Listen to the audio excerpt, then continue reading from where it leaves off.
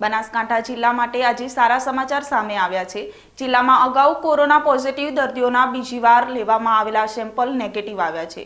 કોરોનાને લઈ સરકાર દ્વારા ગાઈડલાઈન આપવામાં આવી છે કે કોરોના પોઝિટિવ નોંધાયા બાદ તેને રિપીટ ટેસ્ટ લેવામાં આવે છે. અને આવા રિપીટ ટેસ્ટ સતત બે વાર નેગેટિવ આવે ત્યારે જે તેને રજા આપવામાં આવે છે. ત્યારે વહીવટતંત્ર અને આરોગ્ય વિભાગ દ્વારા કોરોનાના સંક્રમણને અટકાવવા માટે દિવસ રાત સેવા આપવામાં આવી રહી છે. અને તેમની આ સેવા પણ રંગ લાવી રહી છે.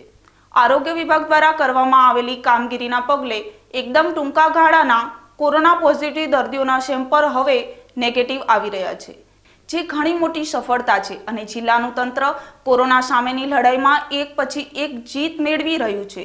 ત્યારે અગાઉ કોરોના પોઝિટિવ કેસ નોંધાયા હતા તેવા દર્દીઓમાં ત્રણ દર્દીઓના તો સતત બંને રિપોર્ટ નેગેટિવ આવ્યા છે અને તેમને આવતીકાલે રજા આપવામાં આવશે.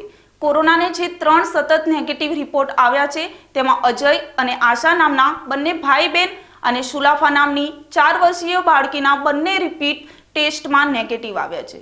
આ ત્રણેય જણાએ વિશ્વમાં આતંક મચાવનાર કોરોના નામની મહામારીને માત આપી છે, જ્યારે અન્ય પાંચ દર્દીઓના લેવાયેલા પ્રથમ રિપીટ ટેસ્ટ પણ નેગેટિવ આવ્યા છે.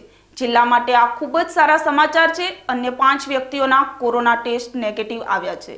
તેમાં જિલ્લાના પ્રથમ નોંધાયેલા ગઠામણ ગામના દર્દી સોમાભાઈ પરમારનો રિપીટ ટેસ્ટ નેગેટિવ આવ્યો છે. આ ઉપરાંત માવસારીના હેલ્થ વર્કર દેવજીભાઈ માધાભાઈ ચૌહાણનો પણ રિપીટ ટેસ્ટ નેગેટિવ આવ્યો છે. પાલનપુર તાલુકાના મફતપુરા ઈશ્વરભાઈ રામાભાઈ પરમારનો પણ કોરોના રિપોર્ટ નેગેટિવ આવ્યો છે.